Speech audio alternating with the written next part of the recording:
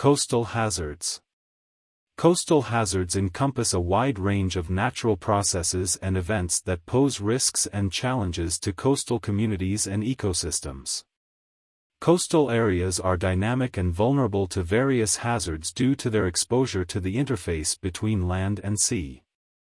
Understanding and managing these hazards are crucial for ensuring the safety, resilience, and sustainable development of coastal regions. One of the primary coastal hazards is coastal erosion. Erosion refers to the gradual loss of coastal land due to the action of waves, currents, tides, and wind. Factors such as sea level rise, storm events, and human activities can exacerbate erosion rates. Coastal erosion can lead to the loss of valuable land, including residential and commercial properties, infrastructure, and natural habitats. It can also result in the degradation of beaches, which are important for tourism and recreational activities. Coastal erosion management strategies include beach nourishment, adding sand to replenish eroded beaches, the construction of coastal structures, such as seawalls and groins, to reduce wave impact, and land use planning that accounts for erosion risk. Another significant coastal hazard is coastal flooding. Flooding can occur due to a combination of factors, including storm surges, high tides, heavy rainfall, and sea level rise. Coastal communities are particularly vulnerable to flooding as the low-lying nature of coastal areas makes them prone to inundation. Coastal flooding can result in the displacement of populations, damage to infrastructure, contamination of water sources, and disruption of economic activities. Integrated coastal zone management approaches are necessary to address coastal flooding, including the implementation of coastal defense systems, such as flood barriers and dikes, the creation of floodplain zoning regulations, and the development of early warning systems to alert communities of impending flood events. Storm events, including tropical storms, hurricanes, and cyclones, pose significant hazards to coastal areas. These intense weather systems can generate strong winds, heavy rainfall, storm surges, and coastal erosion. The combination of these factors can lead to widespread destruction, flooding, and loss of life.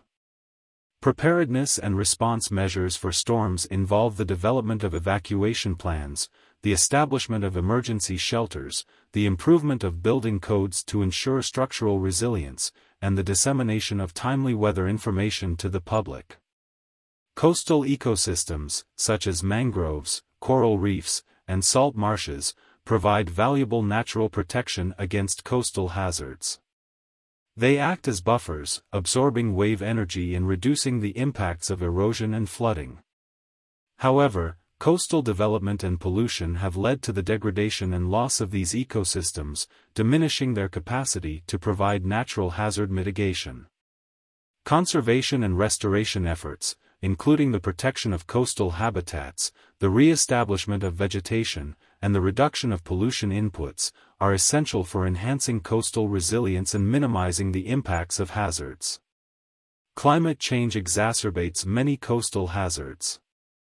Rising sea levels, resulting from the thermal expansion of seawater and the melting of glaciers and ice caps, pose long-term risks to coastal areas. Sea level rise amplifies the impacts of erosion, flooding, and storm surges, threatening coastal infrastructure, freshwater resources, and biodiversity. Adaptation strategies to address sea level rise include the construction of sea walls, the implementation of managed retreat strategies to relocate vulnerable communities away from the coast, and the restoration of natural coastal features to provide resilience against rising sea levels. In conclusion, coastal hazards are multifaceted and interconnected, requiring comprehensive approaches for effective management.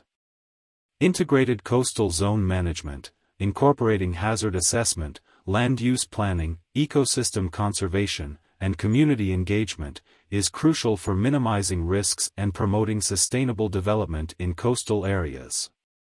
By implementing proactive measures and considering the long-term impacts of climate change, societies can enhance coastal resilience and protect both human communities and valuable coastal ecosystems. Please don't forget to subscribe to my channel and turn on notifications.